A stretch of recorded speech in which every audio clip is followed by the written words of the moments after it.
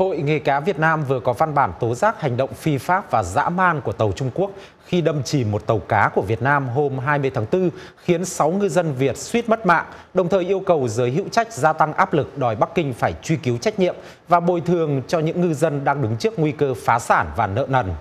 Trả lời phỏng vấn của VA tối ngày 23 tháng 4, tiến sĩ Nguyễn Việt Thắng, Chủ tịch Hội nghề cá Việt Nam, nguyên Thứ trưởng Bộ Nông nghiệp và Phát triển Nông thôn xác nhận hành động đe dọa tính mạng và gây thiệt hại tài sản cho ngư dân Việt Nam của phía Trung Quốc đã lặp đi lặp lại nhiều lần và đang có chiều hướng gia tăng trong thời gian gần đây, mặc dù Việt Nam đã nhiều lần lên tiếng phản đối. Những đứa cái lặp đi lặp lại nó không có cái cái giảm sút gì cả mà có thể là đầu năm nay nó có thể là tăng lên vậy cho nên là chúng tôi cũng kiến nghị mẽ hơn và đề nghị là về phía chính phủ như tôi cũng có nói tức là các cơ quan chấp pháp phải tăng cường cái hiện diện hơn nữa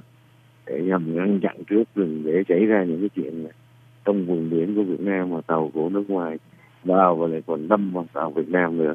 Thì chúng tôi nghĩ rằng là đó là cái việc chúng tôi là yêu cầu và có lên kiến nghị. Ngoài cái việc phản đối của Trung Quốc nhưng đồng thời phía mình cũng phải có những cái nỗ lực nhất định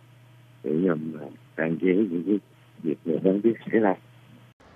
Video trên YouTube của tuổi trẻ cho biết vào khoảng 8 giờ ngày 20 tháng 4, tàu cá QNG 90332 của ông Nguyễn Tấn Ngọt, xã Bình Châu, huyện Bình Sơn, tỉnh Quảng Ngãi đã bị hai tàu Trung Quốc mang số hiệu 45103 và 46001 đâm chìm, rồi bỏ đi khi họ đang đánh cá trên vùng biển quần đảo Hoàng Sa mà hai nước cùng tuyên bố chủ quyền và hiện nằm dưới sự kiểm soát của Bắc Kinh.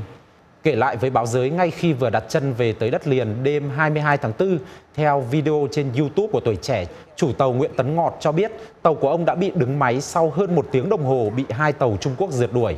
Năm người của phía Trung Quốc mà ông Ngọt mô tả là bọn lính trong trang phục đen đã bắt ông và các thuyền viên phải viết ra họ tên, quê quán và lăn tay rồi sau đó bỏ đi. Sáu ngư dân Việt Nam phải dùng bộ đàm để kêu cứu và được một tàu cá khác chạy thoát cứu vớt Kể từ tháng 3 tới nay đã có hơn 10 tàu cá của ngư dân Việt Nam bị tàu Trung Quốc đâm va, cướp phá tài sản gây thiệt hại nhiều tỷ đồng. Nhiều ngư dân cho biết, ngoài việc cướp bóc, phá hỏng máy móc, ngư cụ nhằm triệt đường sống, người Trung Quốc còn sử dụng vũ lực đối với ngư dân và ép họ phải chuyển toàn bộ hải sản đánh bắt được lên tàu của Trung Quốc, theo tuổi trẻ.